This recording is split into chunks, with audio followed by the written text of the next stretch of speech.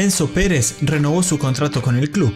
Durante las horas de hoy al mediodía, Enzo Pérez arribó a las oficinas del Estadio Monumental en una reunión que estuvo junto al presidente Rodolfo Donofrio para firmar ni más ni menos que una renovación de su contrato con el club de sus amores. El vínculo del mediocampista con el más grande finalizaba en junio del 2023 y a partir de este miércoles se extendió por seis meses más, hasta diciembre de ese mismo año y con una sustancial mejora salarial que ya venían negociando entre ambas partes en las últimas semanas. Esta renovación de contrato y mejora en el salario, River lo hace de forma de agradecimiento hacia Enzo por haberse quedado en River y haber rechazado la oferta del fútbol europeo, en la cual resignó ganar muchísimos más dinero de lo que gana en River. De esta manera, el mendocino de 35 años garantiza que su idea es permanecer en Núñez y seguir cosechando gloria en el millonario. Cabe destacar que Enzo arribó al club a mediados del 2017, proveniente del Valencia, y lleva disputados 129 partidos oficiales en el club, anotó 4 goles y fue protagonista de 6 vueltas olímpicas. El Piti Martínez sufrió una muy dura lesión.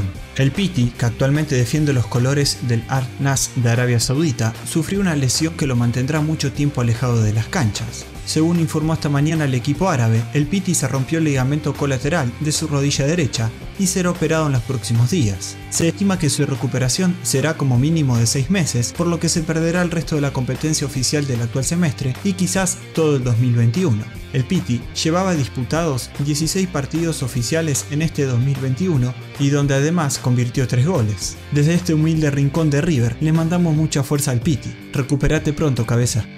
5 jugadores de River entre los más valiosos de la Libertadores. El sitio web Transfermarkt, uno de los más reconocidos en el mundo, confeccionó un ranking con los 20 jugadores mejores cotizados, bajo su criterio, de los 32 equipos que disputarán la fase de grupos de la Libertadores. Y allí se encuentran ni más ni menos que 5 futbolistas de River de los cuales hay 3 top 10. Quien se ubica en lo más alto de todos es Nicolás de la Cruz, cuyo valor de mercado se considera en unos 18 millones de euros y quedó posicionado en el cuarto lugar. Un puesto más atrás está Rafael Borré, cotizado en 15 millones de euros, mientras que Gonzalo Montiel se ubica en el décimo lugar, valuado en 12 millones y medio de euros. Los otros jugadores millonarios presentes son Julián Álvarez y Jorge Carrascal. Y de esta forma, River se convierte en el club que más jugadores tiene en este top 20 los debuts de River en la Copa Libertadores de la era Gallardo.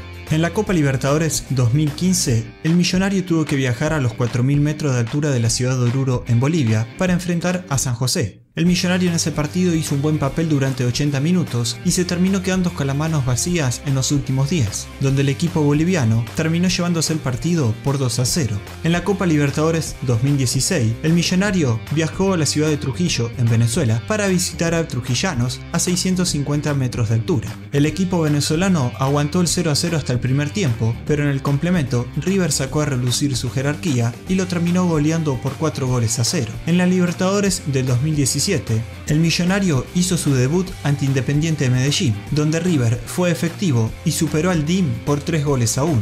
En la Libertadores 2018, River comenzaría las fases de grupo visitando a Flamengo en Brasil, donde al principio lo perdía por 2 goles a 0, pero lo terminó empatando 2 a 2 con goles de Rodrigo Mora y Camilo Mayada sobre la hora. En la Libertadores 2019, River también tuvo que hacer de visitante, pero esta vez ante Alianza Lima en Perú. River en ese partido tuvo un primer tiempo impreciso que lo llevó a irse 0 a 1 al descanso. En ese partido, River tuvo un primer tiempo impreciso donde lo terminó perdiendo 1 a 0, pero luego en el complemento, con casi prácticamente el partido terminado, a los 96 minutos, Cristian Ferreira en un tiro libre la colgó del ángulo, para que el millonario termine empatando 1 a 1 y en la última Libertadores 2020, el millonario tuvo que viajar a Ecuador para enfrentar a Liga de Quito, donde Marcelo Gallardo decidió llevar a un mix de titulares y suplentes, donde el local en ese partido hizo pesar la experiencia y el conocimiento del terreno y terminó goleando 3 a 0 al millonario. Y en esta Copa 2021, al igual que las demás, tendrá que jugar su primer partido de la fase de grupos en condición de visitante.